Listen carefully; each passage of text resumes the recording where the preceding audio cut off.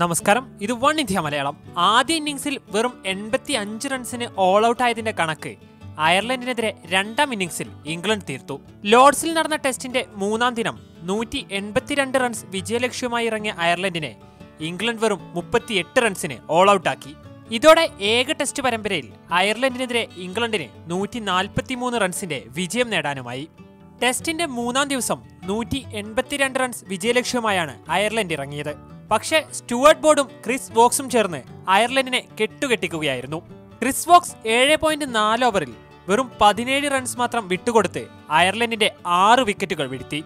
എട്ട് ഓവറിൽ പത്തൊൻപത് റൺസ് വിട്ടുകൊടുത്ത് ബാക്കിയുള്ള നാല് വിക്കറ്റുകളും വീഴ്ത്തിയത് സ്റ്റുവർട്ട് ബ്രോഡാണ്. ടീം സ്കോർ പതിനൊന്നിലെത്തിയപ്പോൾ തന്നെ ക്യാപ്റ്റൻ വില്യൻ പോർട്ടർഫീൽഡിനെ അയർലൻഡിന് നഷ്ടമായിരുന്നു. പതിനൊന്ന് റൺസ് നേടിയ ജെയിംസ് മക്കല്ലം മാത്രമാണ് ഐറിഷ് നിരയിൽ രണ്ടക്കം കണ്ടത്. നേരത്തെ ഇംഗ്ലണ്ടിന്റെ രണ്ടാം ഇന്നിംഗ്സ് മുന്നൂറ്റി മൂന്ന് റൺസിന് അവസാനിച്ചിരുന്നു. ഇതോടെ തങ്ങളുടെ അരങ്ങേറ്റ ടെസ്റ്റിൽ തന്നെ വിജയം കണ്ടെത്താനാകുമെന്ന പ്രതീക്ഷയിലായിരുന്നു അയർലൻഡ്. നേരത്തെ ഇംഗ്ലണ്ടിന്റെ ഒന്നാം ഇന്നിംഗ്സ് സ്കോറായ എൺപത്തി അഞ്ച് റൺസിനെതിരെ അയർലൻഡ് ആദ്യ ഇന്നിംഗ്സിൽ ഇരുന്നൂറ്റി ഏഴ് റൺസാണ് നേടിയത്. ഇതോടെ ഒന്നാം ഇന്നിംഗ്സിൽ മാത്രം നൂറ്റി ഇരുപത്തിരണ്ട് റൺസിന്റെ ലീഡ് എടുക്കാനും അയർലൻഡുകാർക്ക് സാധിച്ചിരുന്നു. തൊണ്ണൂറ്റി രണ്ട് റൺസ് നേടിയ ജാക്ക് ലീഷും എഴുപത്തിരണ്ട് റൺസ് എടുത്ത ജെയ്സൺ റോയിയുമാണ് രണ്ടാം ഇന്നിംഗ്സിൽ ഇംഗ്ലണ്ടിന് മികച്ച സ്കോർ സമ്മാനിച്ചത്.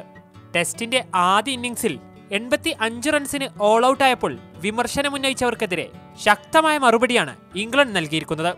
News desk one India Malayalam.